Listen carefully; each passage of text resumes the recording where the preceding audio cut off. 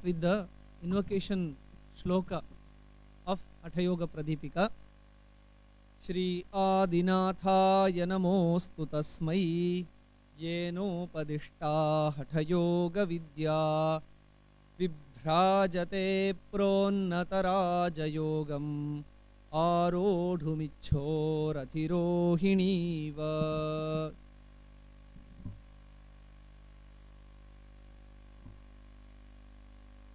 Suprabhatam. Namaste to one and all. I'm really happy to be in uh, this Yoga Shastra Sangamam,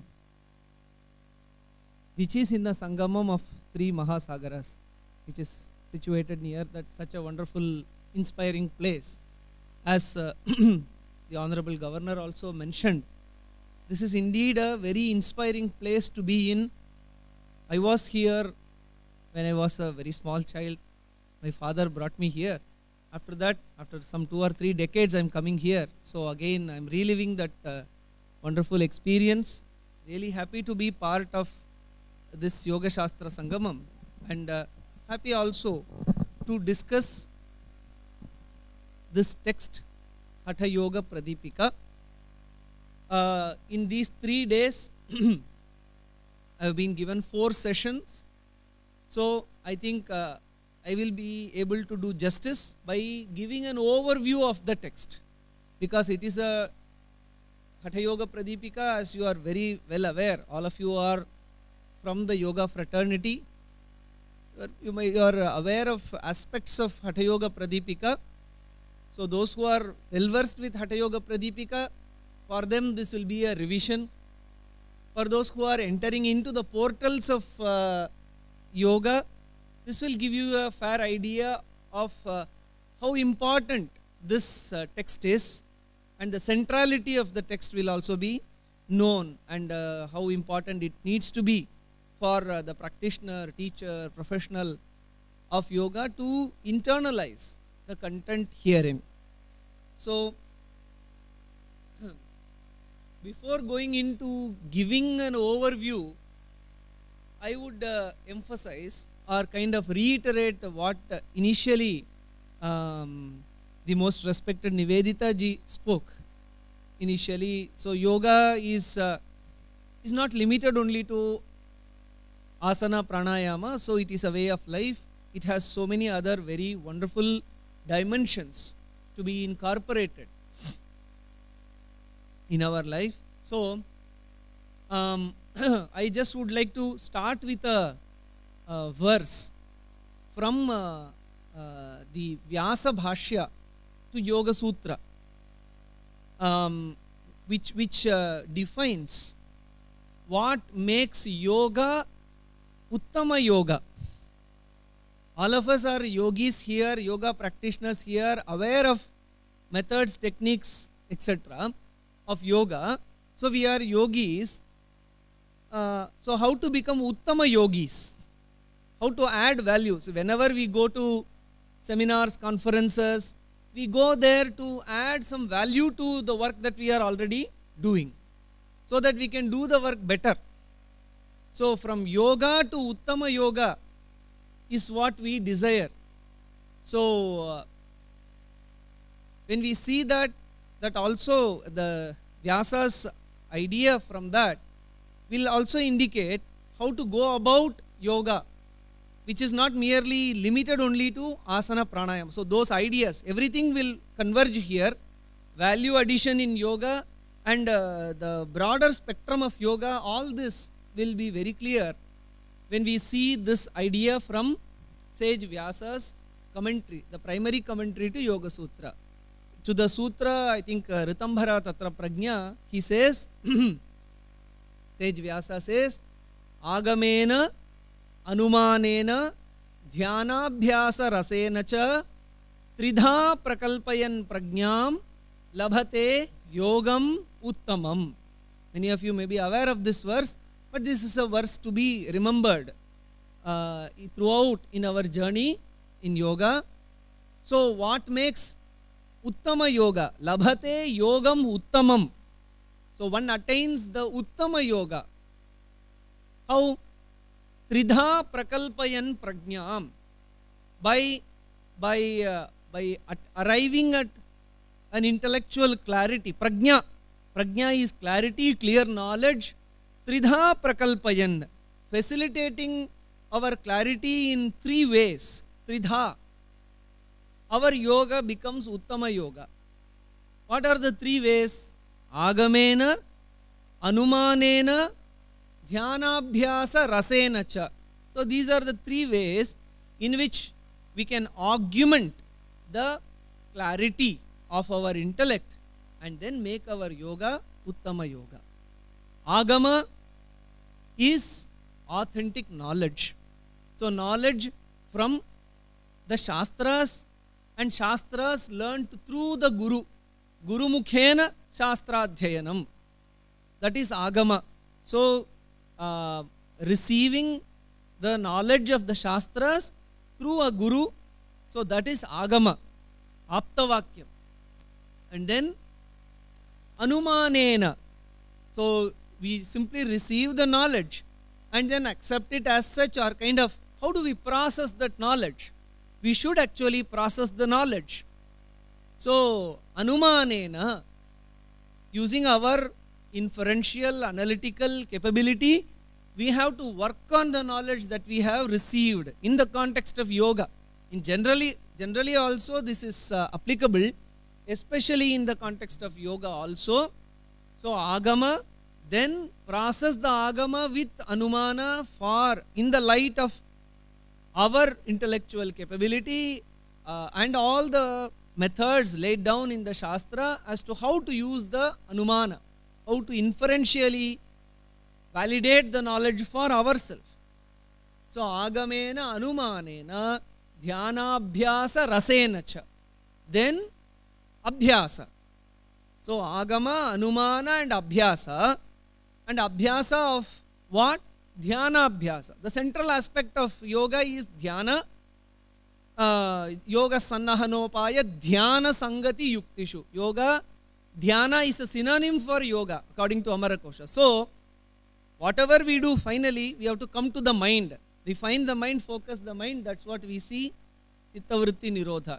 So, Dhyana Abhyasa Rasena cha means finding the joy in practice of yoga. How can we find joy in the practice of yoga? Receiving the agama, then anumana, and then abhyasa. So, in these three steps, when we tridha prakalpayan prajnam, we refine the clarity in our intellect, then our yoga becomes uttama yoga. This is what Vyasa says, and that is what will lead us to the higher states like Ritambhara Prajna, etc. So, at the very beginning of journey from yoga to Uttama yoga, what is the first step? That is Agama. So, it is the first step itself is Agama, and Agama is Shastra. So, Yoga Shastra. So, when we delve deeper into the Shastra, then we uh, or then uh, or at least we know the frameworks of the shastra in a systematic manner especially the yoga shastra then we we can say that we have placed our foot firmly in the first step so occasions like this in yoga shastra sangama where we get to meet so many people who have worked on the various dimensions of yoga shastra will really make our first step towards Uttama Yoga really strong. So, I just wanted to set this context. So, why at all we should uh, know about the text? Why at all we should uh, discuss about Yoga Shastra? Why should there be a Sangama of Yoga? Because if we really want to make Yoga Uttama Yoga, then we have to come to Yoga Shastra Sangama, explore not only in Yoga Shastra Sangama, throughout our journey in the teaching, learning, practice of yoga, we have to incorporate these three steps. So these are the introductory points that I wanted to make in establishing the importance of agama in, in the realm of yoga shastra. Now, so one such agama, one such text for in yoga is Hatha Yoga Pradipika. Everyone knows that Yoga Sutra, Hatha Yoga Pradipika, Bhagavad Gita, all these are certain basic texts of Yoga Shastra. So, last year I learnt that uh, Yoga Sutras were discussed in detail. So, now we are taking up Hatha Yoga Pradipika for a discussion or a analysis or an overview of this text. Now, when we see Hatha Yoga Pradipika, the first component is Hatha Yoga. What is Hatha Yoga or what are the what is the origins of Hatha Yoga that we need to see first, and then we will uh, come to uh, the the meaning of the word Hatha etc. All those we will see. Um, Hatha Yoga generally uh, is is uh, is uh, generally perceived as a more practice oriented activity oriented yoga we will examine that later in due course. But first what exactly hatha stands for etc we will analyze. But before that whatever is known as hatha yoga where does it find its origin? We will see that we see that uh, certain studies are there which indicates the, the origin of hatha yoga to the hatha yoga sampradaya to the tantra uh, especially the tantra agama tradition. So that is where uh, the, uh, um, uh, the hatha yoga tradition finds its uh, source. There are the shaiva tantras the uh, pancharatra agamas or the vaishnavas and then the shakta agamas are there where each and shiva bhagavan narayana and shakti are the central divinities which are propitiated uh, or worshipped or meditated upon. So it is in this in this uh, uh, agamic tradition. It is from there that later hatha yoga has branched out. This is the study of scholars so which can be traced to the beginnings of the common era. So that is uh, the observation. And when we see in the agamas themselves there are four aspects of any agama literature. So be it the worship of shiva be it, be it the worship of lord vishnu or the various practices of tantra of uh, the worship of the divine mother. So we see basically the four aspects charya kriya charyapada kriyapada jnana or vidyapada and Yoga yogapada.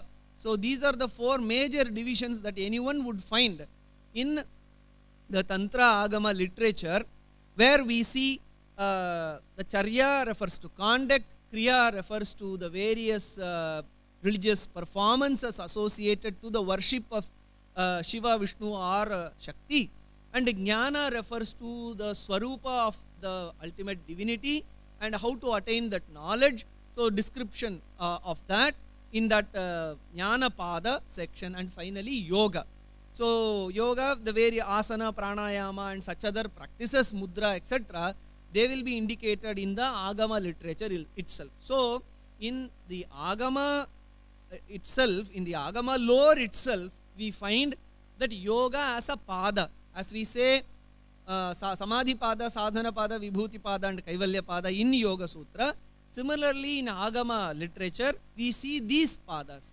Charya pada kriya pada jnana pada or vidya pada or and finally the yoga pada. So these are the four padas. So there we see the, uh, the uh, we see yoga as an integral aspect of the agama practices. So uh, personal religious uh, performances worships at home at temple all these are there in any agama practice.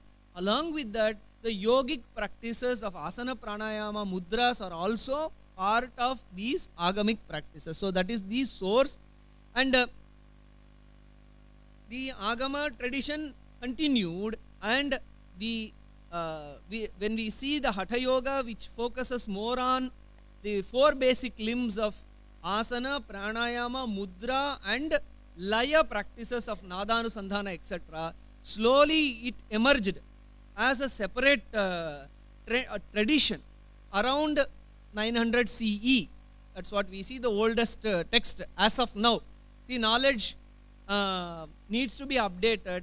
As of now, uh, as per the Encyclopedia of Indian Philosophy, uh, on the, the yoga volume, says the oldest available text on Hatha Yoga as such is the Kaulagnana Nirnaya by Matsyendranath. Then we have Siddha Siddhanta Paddhati. And then in the 15th century, only later, we see that Hatha Yoga Pradipika emerges. And uh, in this, in this uh, period of emergence through or from the Agama tradition, when around this 15th century Hatha Yoga Pradipika emerges, it, it, it, it, uh, it is expressed in such a compact and systematic manner that even after Hatha Yoga Pradipika, later texts have emerged like Gheranda Samhita, Shiva Samhita, Hathabhyasa Paddhati, so many other uh, texts have emerged. Still, one goes back to Hatha Yoga Pradipika because of its systematic approach. This is true for any other uh, Shastra also. In Vyakarana, in, uh, in the grammar discipline, there are so many kinds of Vyakarana Aindram, Chandram, Kashakritsnam, Kaumaram, Shakatayanam, Saraswatam, Apishalam. So many types of Vyakarana existed, but Panini Vyakarana has survived since 5000 years because of its compactness, systematic nature, and very um, um, uh, uh, and it's it's a thorough treatment of topics. So in that sense, similarly, though in Hatha Yoga tradition texts have preceded and succeeded Hatha Yoga Pradipika, still Hatha Yoga Pradipika stands as a very valuable text because as you will see, the comprehensiveness, compactness and systematic approach to the topic and already we, we see that uh, and one more thing to be highlighted in the context of uh, this Shastra is whenever there is a source text, it has to be studied with the commentary, traditional commentary. So only then uh, the, the, the import of the text uh, will emerge in all its completeness or else there is every possibility that the text is um, uh, in a limited way is, is uh, interpreted in an inadequate manner. So hence, if there is a text in our tradition and if it has a Samskrita traditional commentary, then one should take extra efforts to study the text with the commentary. So then uh, we, we will inherit the knowledge in its entirety that is conveyed by the text. And one such shining commentary, wonderful commentary to Hatha Yoga Pradipika is the Jyotsna commentary by Brahmananda to Hatha Yoga Pradipika. So, whoever studies Hatha Yoga Pradipika should study it with the uh, the Jyotsna commentary. Then the, uh, the, the level of uh, ideas that emerge from it. See, uh, the doubts that we get by studying the source text alone will not remain if we study it with the commentary. Because uh, the commentary itself is defined, Bhashya is defined as Sutrartho Varnyate Yatra Padaihi Sutranukaribihi Swapadani Chavyachashte Bhashyam Bhashya Vido Viduhu. In any Bhashya or any commentary or any Tika, how by definition what does it do? The Sutra or the source text is there. Sutrartha Varnyate. Sutrartha Varnyate. The meaning of each of the terms of the source text is explained and then uh, swapadani cha vyachaste. So the commentator ensures that he explains, he or she, whoever it is, he explains the meaning of each of the words of the source text and he also explains the interpretations that he has given. So it is a two-tier approach. So uh, the, first explanation to the source text, then explanation of one's own uh, explanation. So swapadani cha vyachaste bhashyam bhashya vido viduhu. So one such commentary to Hatha Yoga Pradipika which fits in the classical definition of commentary is Jyotsna commentary. So without which what happens is many things uh, remains hazy. Many things do not be, uh, will not be clear. So though this commentary to Hatha Yoga Pradipika Jyotsna came later, three or four centuries later, but still it is worth pursuing with the commentary. And as I said, Hatha Yoga Pradipika, the Hatha Yoga tradition did not stop with Hatha Yoga Pradipika. Further texts also came like Gheranda Samhita, Shiva Samhita, etc. So this is the slide that uh, gives you a not a thorough introduction to Hatha tradition, but a fair amount of introduction, which shows where, where, in which tradition, where does, where is the origins, where lies the origins of Hatha Yoga, and then how it slowly branched out, and then what are the what are the texts, major texts that came out of uh, came in the Hatha tradition. So uh, a, a fair amount of introduction of the Hatha tradition that we see in this. And then focusing more or now zeroing in on. So now we saw the tradition and the position of Hatha Yoga, Hatha Yoga Pradipika in the tradition. Now let's focus more on the text in our hand. That is, let's zoom in to Hatha Yoga Pradipika. So, what is first? There are three words there Hatha, Yoga, Pradipika. Three words are there. Maybe someone, some, some will say there are four words Ha, Tha, Yoga, Pradipika. So, uh, what is Ha? Ha is stated as sun and Tha is stated as moon and uh, Pradipika is light. So, light on the sun and the moon. When sun and moon are already light, then what, what is the need for light on sun and moon? So there is another word yoga that is light on it is Hatha Yoga Pradipika. So what is uh, the sun and the moon etc. that is from the Siddha Siddhanta Paddhati which is an which is an older text that itself defines uh, text prior to the Hatha Yoga Pradipika defines Akara Kirtitaha Suryaha Thakaraha Chandra Uchyate Surya Chandramasor Yogat Hatha Yogo Nigadyate. So Hatha Yoga is the conjoining of Surya and Chandra. So and that text which throws light on the conjunction of the Surya and Chandra is Hatha Yoga Pradipika.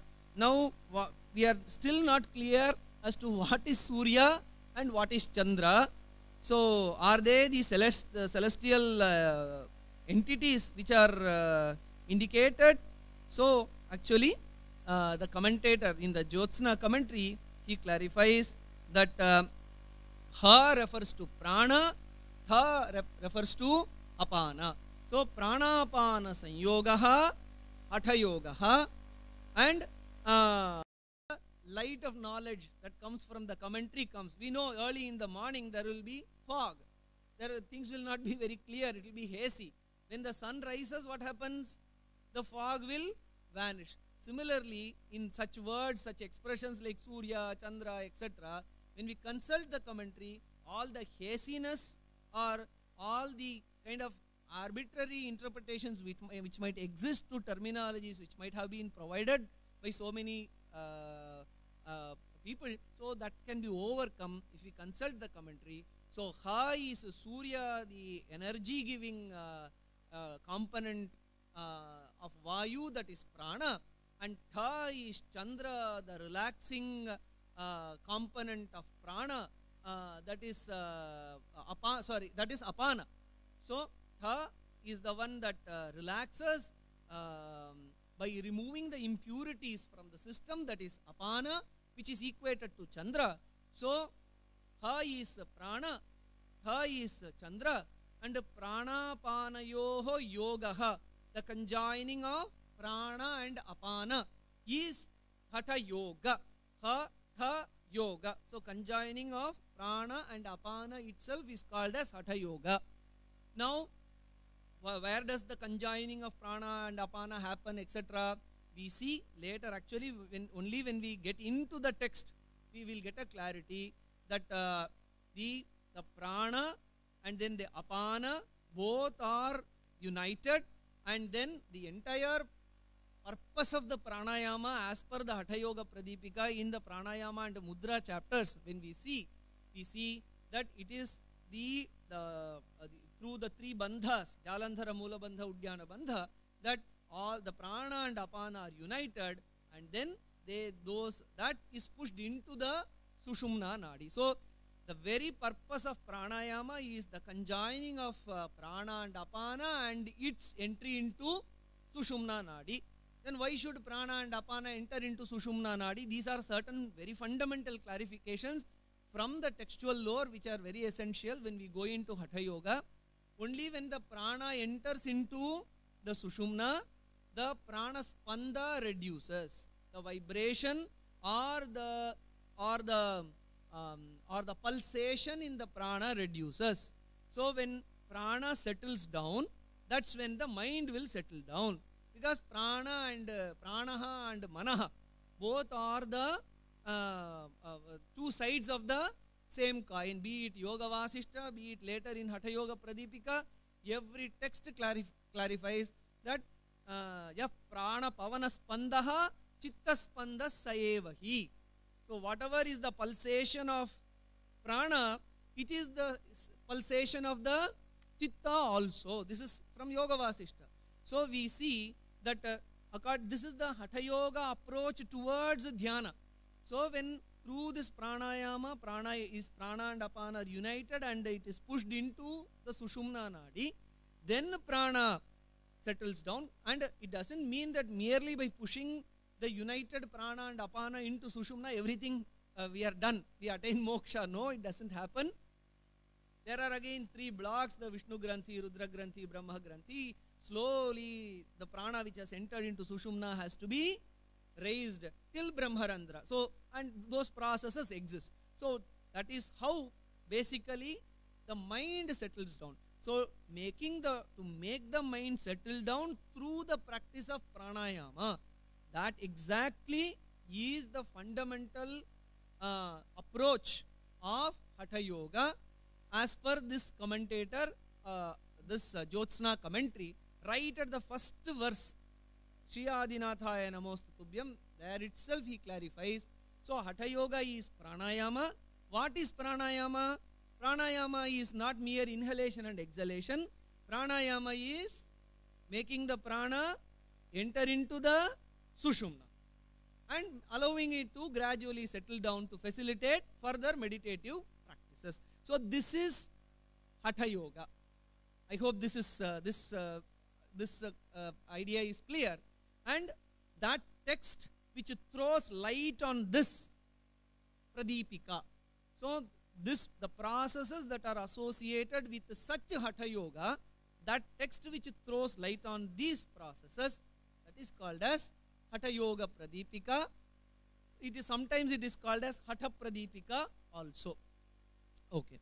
So, uh, and uh, we have already seen all these uh, details. And the author of uh, this Hatha Yoga Pradipika, the wonderful text, is um, Swatma Rama. Swatma Rama or Atma Rama or Chintamani. So, these are the names for uh, the author that we see and uh, he is stated to be according to the textual uh, references he comes in the in the family of yogis so he is the son of sahajananda yogindra that's what we find so that i'm reminded of the bhagavad gita shloka nahi kalyana krit kaschid durgatim tata gacchati athava yoginamev kule janma yadidrisham etadhi durlabhataram so when people pursue yoga to whichever extent they succeed, that's fine. In the next birth, they will be blessed to be born in the family of yogis. And our Swatmarama, who is the author of Hatha Yoga Pradipika, is one such yogi born in the family of yogis. So, and the meaning of Swatmarama, it is actually discussed in the commentary. What is the meaning of Swatmarama? Who becomes a Swatmarama? The, there is a sutra in, I'm just giving a hint, I'm not going into it or else the entire first hour lecture will end here on explaining this. I'll just hint you can consider uh, looking into it. Um, there is this sutra, uh, Tasya Saptadha Pranta Bhumihi Prajna in the second chapter, just before the commencement of the Ashtanga Yoga concepts. So tasya saptadha pranta viveka khyati. When a person attains viveka khyati, he will slowly ascend the seven levels of clarity. So uh, Brahmananda states that Swatmarama, who has given this text, Hatha Yoga Pradipika, has achieved that Swatmaramatva, the state of being immersed in the bliss of one's own Atman, the pure consciousness, by transcending all the seven steps, the Saptadha Pranta Bhumi. The details of the Saptadha Pranta Bhumi is uh, described in Yoga Sutra also, you will get it, the commentary is there, and here also, uh, in the Jyotsna commentary also, you will get a discussion on that. Why is so much of an explanation or elaboration is given on the author? Because we always value uh, a text uh, the, the one who speaks about the text also matters. So uh, the mere words from a from a, a great achieve, a great yogin or siddha purusha, even a few words from a siddha purusha will enlighten us. Uh, uh, as as uh, as uh, Sri Aurobindo in Savitri would say, a light has come down and it it has touched few li- lives. I am not quoting verbatim, and a few have risen to greater heights just uh, uh, vaguely quoting it. So, in this way, the, the words of very accomplished yogins, even though if they are very little, when we know the greatness of them, the reverence or the shraddha towards the text will increase. And then our, even in Yoga Sutra, shraddha, virya, smriti, samadhi, prajna, purvaka, itaresham. What are the upayas in any, uh, uh, what is the fundamental upaya towards progress in yoga?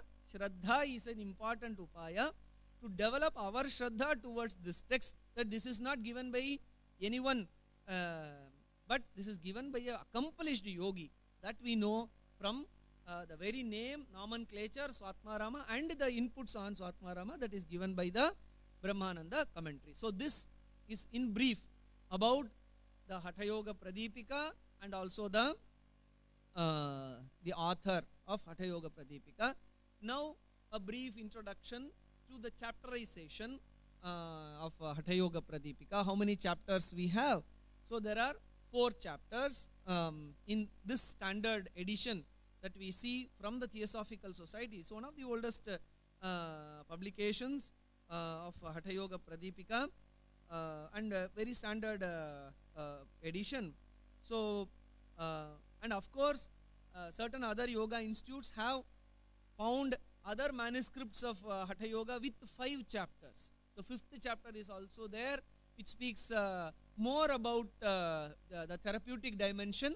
But I'm going with this Theosophical Society edition, where we see four major aspects of uh, four limbs of yoga being stated in four successive chapters.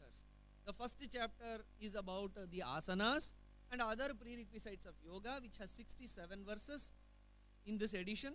And then the second chapter is on pranayama, 78 verses. And the third chapter is on mudras, 130 verses.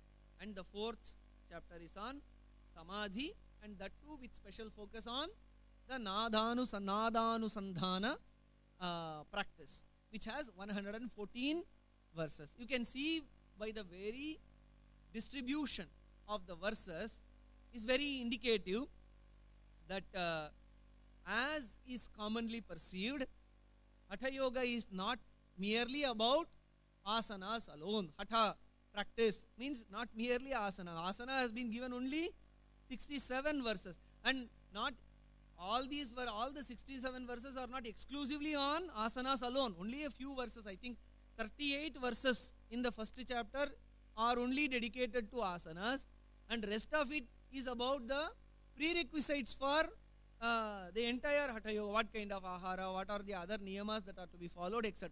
So that is the position of uh, asana in Hatha Yoga. So textually, when we look into a text and the distribution of verses, that gives us a clarity as to what Hatha Yoga really means and what it really does not mean. So Hatha Yoga, of course, asana is an important uh, integral primary preliminary limb, but primary preliminary limb only. But as you can see, the major focus is on the mudras. So pranayama, we, we have in, in the beginning you might a question might come in your mind. In the beginning you said pranayama as hatha actually i didn't say. This is brahmananda's version. But pranayama culminates with mudras only. So pranayama generally we understand is inhal- inhalation hold and exhalation. But uh, that amount of pranayama is indicated in the second chapter. But pranayama that leads prana into sushumna that is uh, mentioned all the mudras are there for making the prana and apana into uh, flow into the sushumna. That is the real pranayama. That is the higher pranayama. So that is given exclusive attention. That is very evident from the number of verses that is devoted to uh, the mudras therein. So hence we can see the central aspect of hatha yoga is the higher pranayama where prana flows into sushumna. The numbers themselves indicate that. And of course so though that is the primary focus of hatha yoga as in the as indicated in the in uh, invocation verse itself विभ्राजते प्रोन्नत राजयोगम आरोढ़ुम अधिरोहिणी व हठ yoga with all its inputs on asana lower pranayama and higher pranayama is still a ladder adhirohini to what? Raja yoga raja yoga is chitta vritti nirodha. First ekagrata then chitta vritti nirodha in the form of sampragnata and then asampragnata so this is raja yoga and that raja yoga is served by the hatha yoga so that's why that raja yoga portion which is dealt in the fourth chapter has also been given equal importance almost equal importance of 100 plus verses so by all these practices of hatha yoga the prana enters into sushumna then on the entry of prana into sushumna what needs to be done? That uh, that that is means and the goal is raja yoga which is emphasized in the fourth. So in this sense that hatha yoga pradipika is a complete text where it starts off with uh, the hatha yoga and then culminates in raja yoga. So uh, this this gives an idea about um, uh, and one, one more uh, clarity that we get is Hatha Pradipika itself is a self-sufficient text. Means it is not that we learn Hatha Pradipika and then we read uh, uh, uh, this Patanjali Yoga Sutra, etc. Means this itself is self-sufficient, where this itself can lead to the uh, Jivatma Paramatma Sanyoga, then Nadanusandhana and other practices, etc., which lead to Samadhi and Samadhi culminates in Jivatma Paramatma Sanyoga and moksha is attained herein. So, Hatha Yoga itself is a path in this sense, this Hatha Yoga, not the generally perceived Hatha Yoga. This Hatha Yoga itself is complete enough to lead to the ultimate state of moksha. Then, what is the use of Patanjali Yoga Sutras? So, Patanjali, Patanjali Yoga Sutras has its own approach. So that is another approach beginning from yama niyama etc. Asana pranayama, then pratyahara etc. The, those ideas are there. A person who has who is devoted to this hatha path can derive valuable lessons on the Raja Yoga dimension from the Patanjali Yoga Sutras. So this is how uh, these are though these are exclusive path means this is independently this will lead to the goal and uh, patanjali yoga sutras will independently lead to the ultimate goal but we see uh, in uh, in the text themselves attempt to bridge these two traditions hatha and uh, raja yoga tradi- uh, hatha yoga tradition and the patanjali yoga sutra tradition attempts have been made to bridge these two not to see them uh, though they are indeed uh, uh, have a unique uh, path charted in each of these attempts are also there. For example yoga yagnavalkya samhita yoga Yajnavalkya Samhita is a classical example of a marriage between the Hatha tradition and the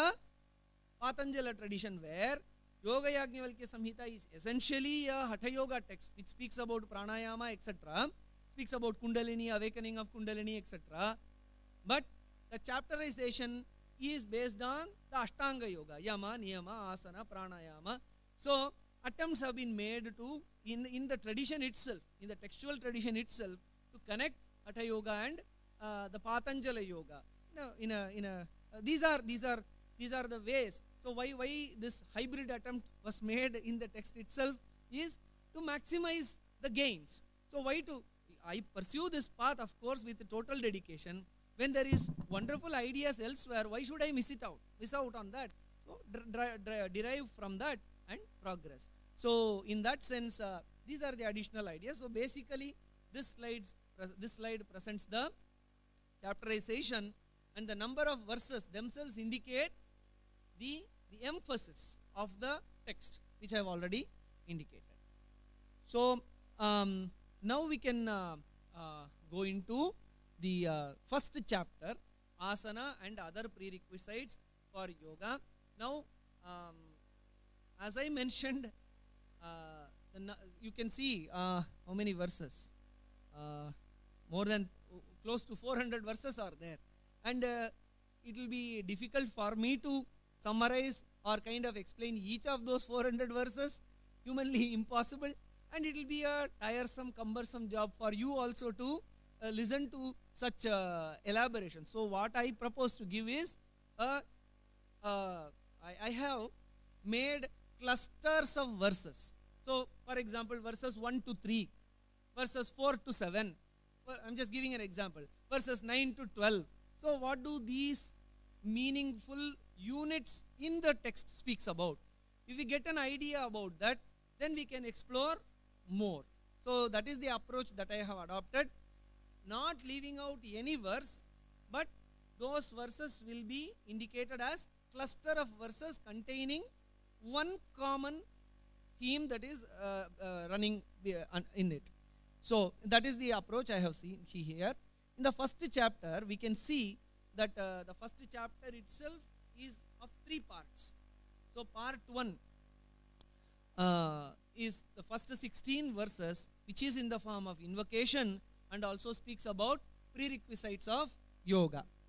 So then part two is the core central part, if you want to call it that way, speaks about the asanas, the 38 verses, verses 17 to 54.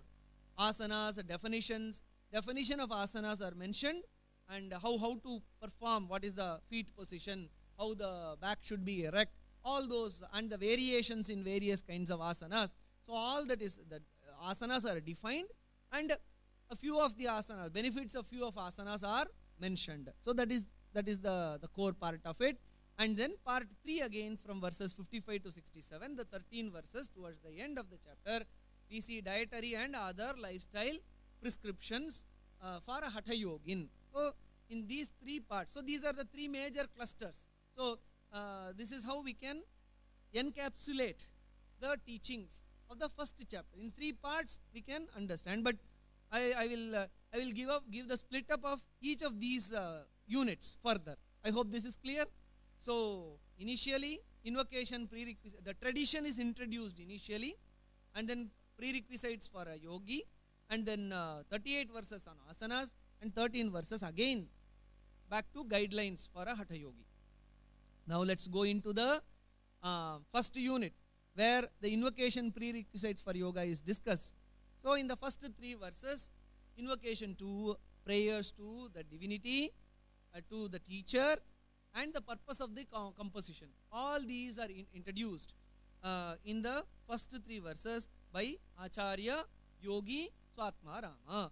So, uh, what, which, which, what is the divinity uh, which is addressed in this? Shri Adinathaya Namostu Tasmai Adinatha. Adinatha is the divinity. And then uh, who is the teacher of uh, uh, uh Swatma Rama? We don't see any specific mention of the teacher as we see that uh, in ancient tradition the father himself becomes the teacher. So the, the home is the first school. Either the mother or the father or both become the teachers. So as we have reference to Sahajananda and it is not that only the father teaches and the father also takes uh, the child to the various uh, learned teachers and then teaches. In, uh, in the various Upanishads we see especially in, uh, in the case of Shvetaketu Aruni. Though uh, Aruni puts Shvetaketu into a uh, in a delayed way, he puts him into another school to learn. The student or the child learns or child becomes a lad when he comes back 24 years. Then finding that his boy has not learnt uh, uh, the knowledge in full, Aruni himself starts teaching Tattvamasi and other such principle as an epitome of a teacher. So in that in that sense, we see that uh, in the initial three verses, the divinity Adinatha Shiva, and interestingly, the commentary. So then, uh, is it a Shiva text? Then, so it is. A, is it a Shiva-oriented text? The commentator gives an interesting perspective. How does the shloka begin? Shri Adinathaya. That's how the shloka begins. So Shri can be taken as a uh, the, uh, title, honorific title. So then Adinatha means Adishcha um, uh, uh, Nathaha, Tatra Adinatha, the primordial source, the Lord Shiva. That is one interpretation. And uh, Shriyaha, Shriyaha Adinatha. Shri is Lakshmi. Who is the Natha of Lakshmi? Uh, Lord Vishnu. So, and actually, we see uh, Bhagavan Vishnu being worshipped as Adinatha in uh, in uh, in there is a place in um, close by only near Tirunelveli, uh, Alvar Tirunagari. Alvar Tirunagari, where Sri Krishnamacharya, the, the, tradition in which I learnt and practiced, uh, learn and practice yoga. So in Alvar Tirunagari, Lord Vishnu is known as Adinatha. So in that sense, uh, uh, Bhagavan Vishnu can also be addressed as Sri Adinatha and Shiva is also Adinatha. In that sense, both, both the divinities are accommodated. So let there be no discord in that aspect and let us not move away from the core aspect of yoga. So let us, uh, so language or interpretation can bring in that, uh, that harmony in a very simple manner. So that is seen there. So invocation to divinity, to his teacher, and the purpose of composition. Kevalam Raja Yogaya Hathavidya Upadishyate. That's what Swatmarama clarifies in the beginning. Only to uh, uh, reach the state of Raja Yoga, this Hatha Vidya is being taught by me. So, Hatha Yoga itself is not an end. Raja Yoga is the real end. So that has been emphasized and repeated in the uh, in the in the initial three verses. So, right. So the next uh, set of verses four to nine, we see a list of teachers um, where the, all the uh, verses from 4 to 9 speak about various teachers. Hatavidyam Matsyendra Gorakshadya Vijanate, Swatmaramothava Yogi, Sri Adinatha Matsyendra Shabara Ananda Bhairava Chaurangi, Meena Goraksha Virupaksha Bileshaya Manthana Bhairava. I am not reading out the entire list. You can see the list there. Some 34 teachers are mentioned, 30, 30 and odd uh, teachers are mentioned there, where we see um, references to Matsyendranatha, Gorakshanatha, uh, they, they are very prominent teachers. Where we see Goraksha Shatakam, Goraksha Samhita, all these are very important texts in Hatha tradition. And then, um, as we saw, the very oldest text on Hatha Yoga, Kaulajnana Nirnaya, is from Matsyendranatha. And the story about Matsyendranatha is also given by Brahmananda, the commentator only, how um, Shiva was teaching Lord Shiva was teaching uh, the Hatha Yogic uh, principles to goddess uh, Parvati and uh, in the in the banks of Manasa uh, Sarovar and uh, a fish was was still the nature of the fish is it will never stay in one place but just one fish was very still and it was observing all the teachings in the form of conversation that's happening between Bhagavan Shiva and Bhagavati Parvati. So then uh, God, the, the Lord's uh, gracious uh, drishti fell upon that uh, Matsya and that Matsya gets converted into a, a human form and that Matsya becomes Matsyendra Natha, the first yogi. That legend, whether or not, so it, it, it, it, depends on our own Shraddha to take it or leave it, but still uh, that is the tradition. Followers of Sampradaya or according to the Jyotsna commentary, we see so Matsyendra as the uh, the primary teacher in the human realm to bring the knowledge from the divine realm. So Matsyendra Natha is the primary teacher, and we also see that uh, Matsyendra asana. So uh, an asana is also credited with uh, Matsyendra asana, Gorakshasana, Matsyendra asana. All such asanas are also there in the name of the various teachers who gave those asanas. So mm, then we see that uh, we see that uh, why why such a long list of lineage we have to reason it out. Why such a long list of lineage is given? Uh, is khandayitva kaladandam brahmande vicharantite that is why that that's given there. That is these 30 and odd teachers uh, for the practitioners of hatha yoga they have cut asunder the limitations of time and they are there in the brahmanda the entire cosmos independently and freely. If you want to become one such come on take up the practice and study of hatha yoga. So to give the role model to inspire so all these uh, the list is given. And also a reverence to the sampradaya that the knowledge that is handed down through the teacher student tradition that is very valuable. So to give importance to the tradition and also to show that so many people have already achieved the, the hatha yogic uh, excellence or the, the goal of hatha yoga. Hence you can also try. So uh, and human beings always need role models. We need yes they have also done then we can also try. So in that sense we can take it uh, in those uh, two uh, dimensions. The list of the teachers can be taken that way. And then and uh, Swatmarama in the 10th verse says that uh, uh, just uh, says that Hatha Yoga is the one which will re- relieve us from the pain of samsara.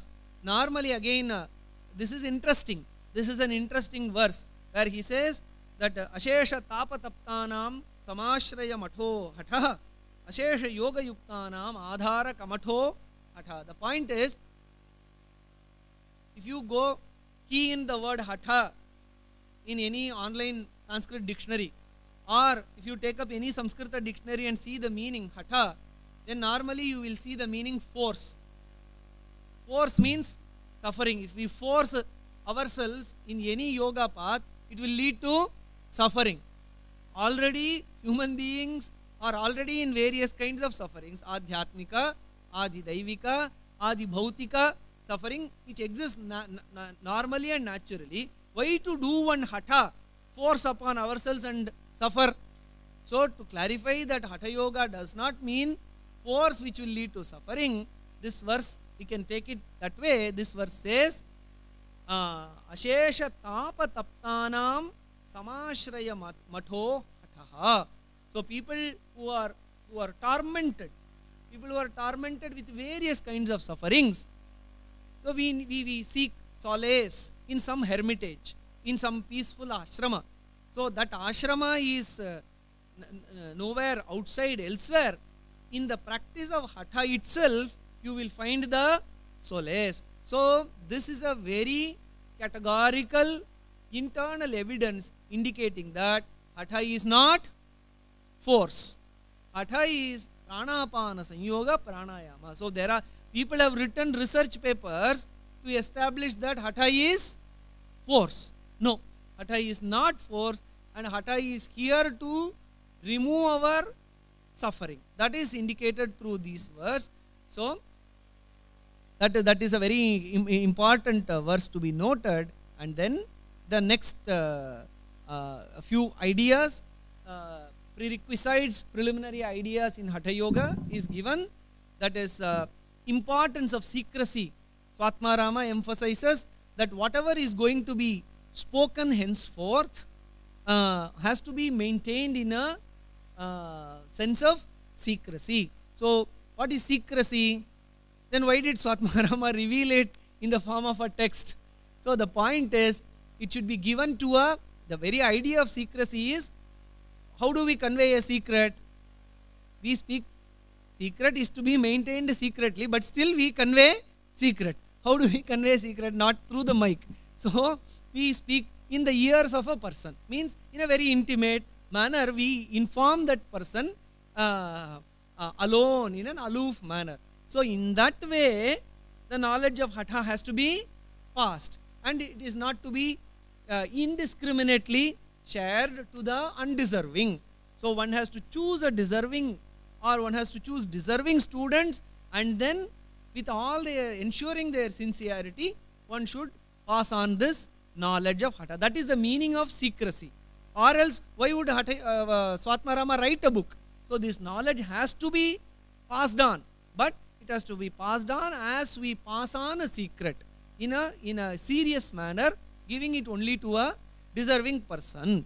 So that idea is mentioned there, and then comes the practical details. All these are very important uh, aspects of Hatha Yoga which are to be uh, remembered. It is not as mentioned. These are the these are the principles that drive the entire uh, the practice of Hatha or practice of yoga. These are to be kept in mind while passing on this knowledge of Hatha, learning and passing on. So then the Matha Lakshana or uh, the place where Hatha has to be practiced. So that is called as a Matha, a monastery or you can call it as a monastery or a very uh, suitable place for the practice of asana where I will just elaborate on this point and then end the session here. We will continue later. Hatha for the practice of yoga, uh, the, the quality, the first, uh, the verse uh, in that says, Surajye dharmike deshe subhikshe nirupadrave. So a yogi should choose a, place which is a Surajya and which is a dharmika desha and it is a uh, is a desha which is experiencing subhiksha and it is nirupadrava. Four aspects in which kind of country or in which kind of uh, state we have to practice hatha yoga. It is a surajya. It should be a surajya, well governed state. And then dharmika. It is not merely well governed, it is governed in the path of dharma. Certain nations we see uh, the roads will be very clean and uh, and uh, so much of a discipline in traffic etc all those things will be there. But is it a dharmika desha? Question mark. So there is surajya but is it dharmika? One has to think. So the desha should be surajya it should be dharmika and it should be subhiksha means it should have resources in plenty prosperity should be there and a nirupadrava nirupadrava means um, there should be no antisocial elements which torment people. Upadrava. Upadrava is uh, uh, uh, tormenting elements. So, uh, or uh, the, the torment that one experiences. Nirupadrava means a place which is bereft of thieves, dacoits, and such other antisocial elements, bereft of that. So, where do we go and search for the basic question? I wrote an article about it yoga for nation building. We can think about yoga and nation. So, should we go if we in the entire uh, world if you search i don't know where you will find such a nation you have to create such a nation or whichever nation we live in whichever country we live in we have to ensure so yogis have a role in in the in the creation or or, or the uh, or creating the ambience the right ambience it is not that we go in search of such place making it surajya, making it dharmika, making it subhiksha, making it nirupad, nirupadrava, yogins have to play an active role so that they can practice yoga. So it, it will cater to the general well-being as well and it will also facilitate more and more people to get into yoga. So there is this, uh, the, this implication of yoga in nation building can be seen this way. So in such a nation or such a country, one has to start practice yoga and then what are all the specifics of a matha etc we will take up in the next session